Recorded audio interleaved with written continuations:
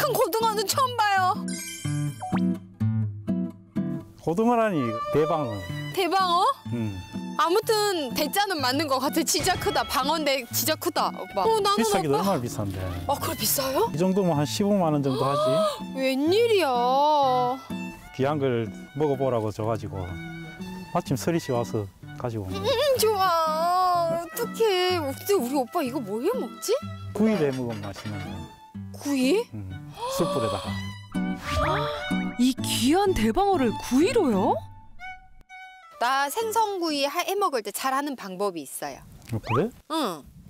우리 그거 해서 직화구이 해 먹을까요? 우리 여기 불도 있으니까. 그럼 그렇게 할까? 응. 그럼 필요한 거 있으면 응. 얘기해. 오빠 도와줘요, 나. 네. 응. 오, 생대나무. 와, 많다.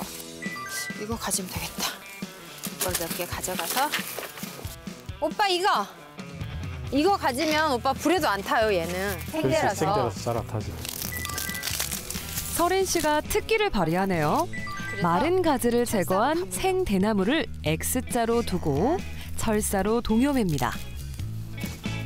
좌우로 감아주고 또 위아래로 감아야 대나무끼리 막 움직임이 없어요. 이제 된 것 같아.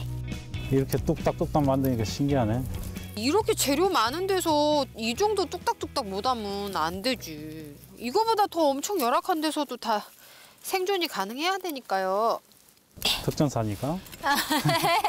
뭐 그런 것도 있고. 와, 금세 구이대가 완성됐네요. 대나무 대살을 꼽아야 되는데 입으로 넣어서 오빠 이렇게 해서 꼬리로 쭉 빼야 되거든요. 아, 이건 쉽지 않을 것 같은데요. 그대로 오 오빠 그대로 그대로 그대로 오빠 이제 나올 것 같아요. 어, 이를 악물고 힘을 써보지만 긁지 말고 얘를 세우자. 대나무를 세워서? 세우게. 이렇게. 아, 힘만으로 되는 게 아니었네요. 아, 드디어 대방어가 올라갑니다.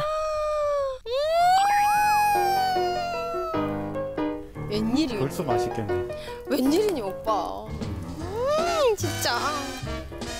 크면 클수록 맛있다는 방어. 방어 익어가는 냄새에 없던 식탐도 생길 판입니다. 신난다 신난다. 금방 익겠는데? 오빠 아래 이거 벌써 기름 떨어져요. 우와. 그래서 식감은 쫄깃하고 맛은 고소하다죠. 구이만 먹으면 또 그렇잖아요. 그래서 회로 한 점. 남들이 다 회로 먹으면 맛있댔어요. 음. 가장 맛있는 부위를 딱 먹기 좋은 두께로 썰어 먹여주는 바다 사나이.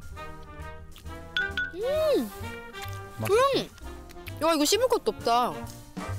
솜사탕 같아. 없어. 오빠 먹어봐요. 입맛이구나. 음. 오빠 끝맛이 달아. 입에서 잘 녹는데. 음, 너- 확 녹아요. 음. 노화 방지, 음, 뼈 건강, 어. 여성분들한테 좋지. 그럼 오빠 나 이거 먹으면 이뻐지는 거야? 그렇지. 더 사랑 받으려고 이런 거 다 애원하네. 이런 건 기본이지. 아, 알겠어요. 미래의 아내에게 썰어주고 싶었던 고소하고 기름진 풍미를 자랑하는 방어회입니다. 솔직히 거짓말했지? 아까는 뭐 별도 따주고 달도 따주고 다 줄 것 같이 하더니 이거 뭐예요 지금? 서린 씨 성에는 안 차나 본데요. 많이 잡았잖아. 많이 잡았는데 이거- 양이 이거밖에 안 나와. 진짜? 음. 그도 그럴 것이 돌멍게 두툼한 껍질 안에 먹을 수 있는 속살은 요만큼. 통통했던 해삼도 내장을 제거하면 바로 헐쭉해지거든요. 오빠 우리 이걸로 비빔밥이에요. 어, 비빔밥. 배가 고파요. 채도 잘 썰어. 서리 씨 그러면 진짜 내 같은 남자 어때요? 무슨 말이 필요해? 최고지. 그냥 일등 신랑감이지 그냥. 서린 씨 칭찬에 입꼬리가 하늘로 솟네요. 1등 신랑감의 솜씨를 유감없이 발휘하는 바다 사나이.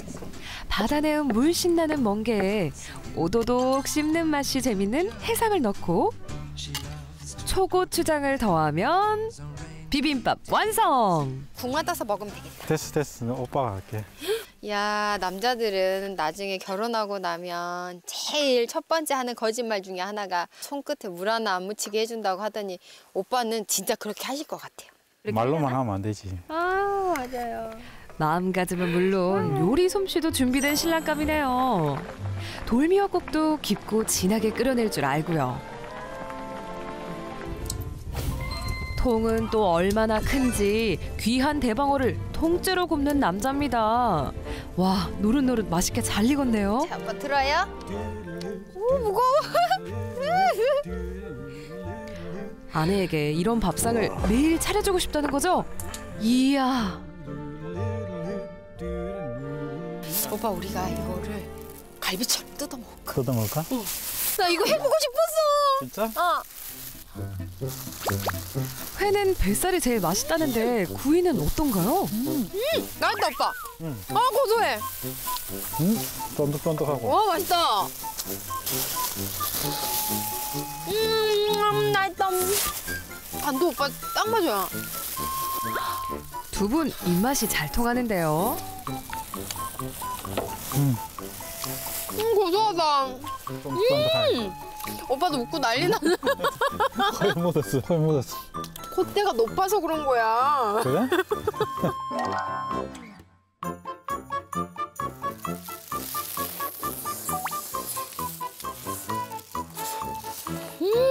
맛있어? 음. 꿀이랑 여기랑 생선이 살 생선이 커서 그런지 맛이 틀려. 그렇지 부위별로 다 맛이 어 달라. 부위별 맛이 틀려. 음. 아래는 약간 팍팍하면서 고소하고 위에는 부드러우면서 고소하고. 서린 씨 말대로라면 아래 위가 다 고소한 거네요. 오빠 한 입에 다 넣고 먹어봐.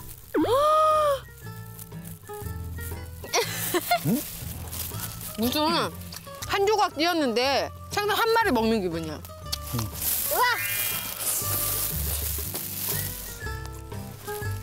내가 고기를 살로 발라줄게 국자 아 뭐야 오빠 국자 무슨 생선은 국자로 발라요. 고기가 큰데 숟가락으로 되겠어? 그러긴 하지. 음. 우와 우와. 오 국자로 해야겠다. 어, 오빠 한국 진짜 이거 국자로 한 국자다. 뜯어봐라 티가 안 나잖아 우와. 방어가 어찌나 큰지 국자로 퍼담아도 살코기가 잔뜩 남았네요. 오빠 나는 국이 궁금했어. 아 따끈.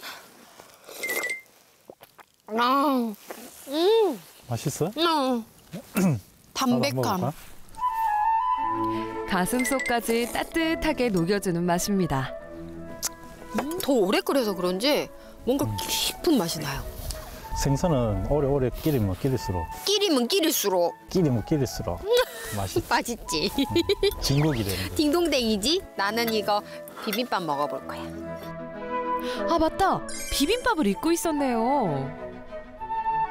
이거 다 여자한테 좋은 거니, 좋은 거니까 많이 먹어 맞아 오빠 그럴 것 같아. 나 이거 먹으면 내일 막 너무 이뻐지는 거 아니야 막? 아침에 못 알아보는 거 아니야? 그러니까 누싸움 막 이렇게. 어두 사람 죽이 잘 맞는데요. 멍게는 먹어봤는데 오빠 나 솔직히 돌멍게는 처음 봤어.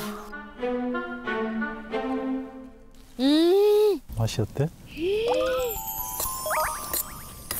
어머 맛있어요? 웬일이야.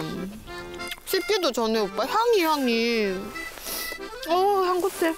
그게 바로 돌멍게 아니야 오 세상에 틀리다. 왜 옆에서 맛있다 해주면 요리할 맛 나잖아요. 너무 맛있어. 바다 사나이도 그런 것 같은데요. 와 사람찌는 대방 해도 좀 먹어 맞아 회 있었어 회 있었어.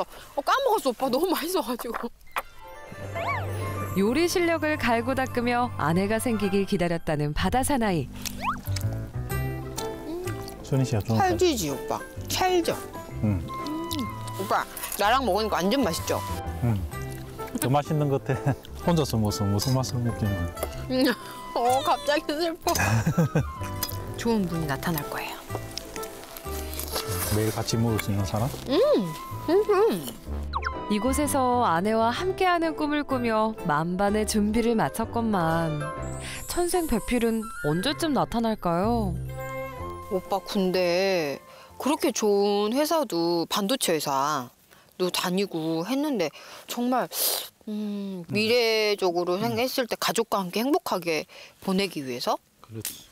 대단한 용기인데 대단한 게 빨리 이제 생각을 바꾼 기지. 그 유혹이 만만치 않았을 것 같은데 그렇지 도시 생활하다가 이런 섬에 있으면 또 처음엔 좀 그렇지. 바다 사나이의 결단이 대단해 보입니다. 주변에 좋은 사람 있으면 소개시켜주고 싶은데요. 그쵸, 서린 씨?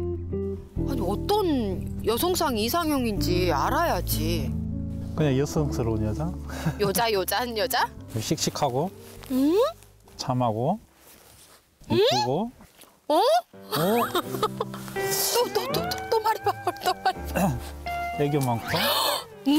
나 아니야? 아유. 너네 씩씩하지 애교 많지 음식 잘하지 어, 서린 씨 말이 맞는 것 같은데요. 바다 사나이의 진짜 마음을 저 하늘에 반짝이는 별들은 알겠죠?